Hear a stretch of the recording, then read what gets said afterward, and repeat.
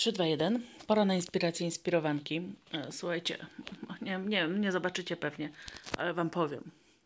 Powiem wam, jest czerwiec. Jest czerwiec, prawie połowa czerwca. No dobra, jedna trzecia, dziesiąty. Jest zimno, mokro, ponuro, pada deszcz i jest zimno, mokro, ponuro od wielu dni. Gdy sobie przypomnę ubiegłoroczne upały tego dnia, to naprawdę, słuchajcie, no ale ja nie o tym.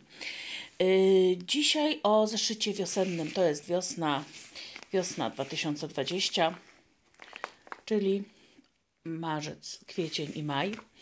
Yy, to jest notes Leuchtturm yy, B5 w miękkiej okładce, ale taki, wiecie, zielony, bo miał być zielony na wiosnę. No i jest zielony. No i już pokazuję. Mm, nie wiem, czy będę dużo mówić, może będę. Tu sobie wkleiłam na pierwszej stronie pudełeczka po moich y, pętelach, bo mi się podobały. No i wkleiłam. Nie lubię tych takich różnych spisów treści mm, i, i na początku zeszytów nie wykorzystuję ich, to znaczy tutaj wykorzystałam na taką ogólną rozpiskę rzeczy, które będę robić w tym roku. Mm. Zeszyt zaczyna się w ogóle y, kalendarzami y, na cały rok, kalendarzami miesięcznymi, ale od, y, nie od stycznia, tylko od tego miesiąca, którego zeszyt dotyczy, czyli w tym momencie od marca do lutego następnego roku. To są kalendarze, w sumie no, wykorzystałam naklejki, ale takie naklejki dedykowane, ich w sklepie nie ma. Marcin mi po prostu połączył naklejki, te rubryki, tabelki takie na wymiar i ja je sobie tutaj wklejałam, no i uzupełniałam tymi cyferkami dniami miesiąca z zestawu dla minimalistów i nazwami y, miesiąca także. Y, I ponieważ ten zeszyt był zielony, to tak głównie w takiej tonacji jest to utrzymane. Y, I zaznaczałam oczywiście sobie takie najważniejsze rzeczy, które się miały zadziać czy wydarzyć. Mm, no nie wszystko się zadziało i wydarzyło, zresztą widać, ponieważ w marcu przyszła nam epidemia i tak się troszeczkę inaczej wszystko działo niż się miało dziać. Yy, tak, i tutaj są te kolejne miesiące. Yy, to jest do maja zeszyt, ale oczywiście te następne miesiące też sobie tak mniej więcej orientacyjnie yy, planowałam. Zresztą robię tak zawsze na początku każdego zeszytu. O, i to jest cały rok, luty. Y, potem sobie wkleiłam takie małe kalendarzyki miesięczne y, na te trzy właśnie najbliższe miesiące, marzec, kwiecień i maj. Y, tymi taśmami pozaklejałam rzeczy, które się nie wydarzyły. I tu już jest marzec. Marzec jest mocno frosycjowy, żółto-zielony. Y, każdy miesiąc jest w takim samym układzie i ma takie same strony. Zaczyna się zawsze kalendarzem tym inspirującym, który możecie pobrać z worka inspiracji, gdy jesteście zapisani na newsletter. Potem jest strona tytułowa, priorytety, zadania, statystyki. Potem jest skrócony kalendarz na dany miesiąc, ależ tu żółto, matko. Są magiczne momenty, czyli najpiękniejsze chwile dnia. Strona rozwojowa, czyli różne kursy, webinary. Ważne daty, czyli to takie różne święta, typowe i nietypowe. Potem planowanie wpisów na bloga, filmów na YouTube'a. Yy rzeczy, które czytam, które oglądam, znaczy które planuję oglądać, bo mało oglądam ostatnio. Różne pomysły. Strona z notatkami, tutaj pozaklejałam, bo tam są nazwiska i adresy. I strona, na której planowałam sobie posty na Instagrama. I tu jest ta, ten kalendarz y, inspirujący też, y, ale w wersji większej i poziomej. Y, ponieważ ten zeszyt był no, znacząco cieńszy od tych, które używam zawsze, bo używam takie, które mają około 250 stron, ten miał tylko 120. Musiałam zmodyfikować swoje tygodniówki i dniówki. I w marcu i kwietniu skorzystałam z pomysłu Kasi Workshop. Tygodniówki wyglądały przepięknie, ale mi się kompletnie nie sprawdzały. Dlatego w maju już zrezygnowałam, wróciłam do swoich tradycyjnych tygodniówek ale jest inny ich układ niż zawsze. Ponieważ do tej pory było tak, że robiłam tygodniówkę, potem dniówki, znowu tygodniówkę i dniówki. Mm, tutaj mam inaczej ze względu na to, że chciałam zaoszczędzić miejsce. Yy, mamy zatem tak, że tutaj są wszystkie tygodniówki razem. Mm, tak to wygląda. A tutaj są dni i dni też są razem, jeden za drugim, bez żadnych przerw i podziałów, bo inaczej by mi się po prostu nie zmieściły. Y, I te dniówki wyglądają w ten sposób, że jeden dzień mieści się na połowie strony. Mamy zatem na stronie dwie kolumny. Dniówki są tradycyjne, mają oś czasu. Na osi czasu są zaznaczone najważniejsze wydarzenia i uzupełnione są one y, planami, tym co trzeba y, zrobić. Tutaj po raz y, pierwszy od dłuższego czasu, od roku w zasadzie, oprócz naklejek swoich, na przykład takich, y, wykorzystałam naklejki od ogarniętych, na przykład takie.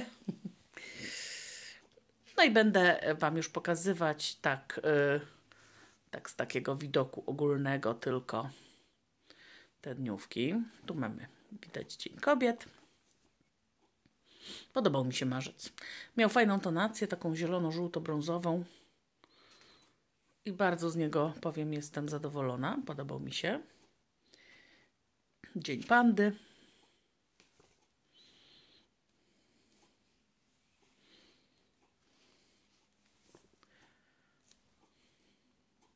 Dzień czytania Tolkiena.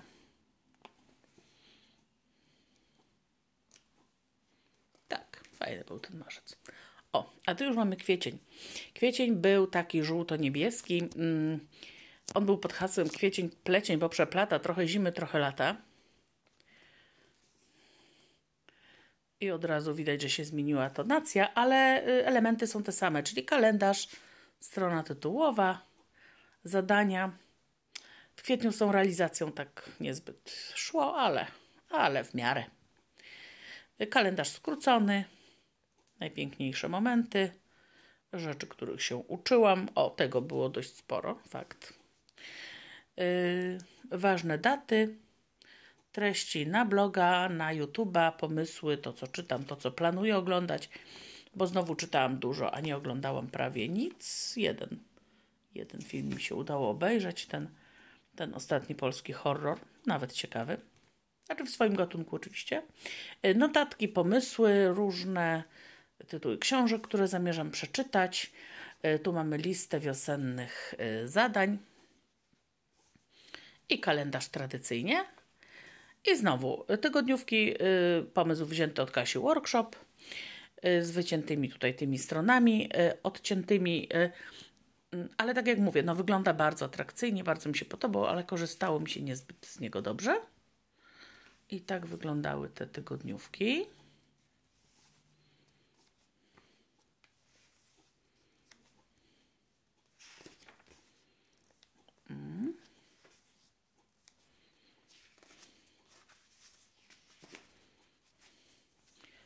O, i dniówki tak jak w marcu, czyli kolumnami. I tutaj był taki żółto-niebiesko-pomarańczowy yy, wygląd yy, tego miesiąca. Też będę pokazywać z takiego widoku z góry. Tu była chyba już, nie, to był dzień sportu, Wielkanoc. Tak, takie wielkanocne klimaty. No to była Wielkanoc.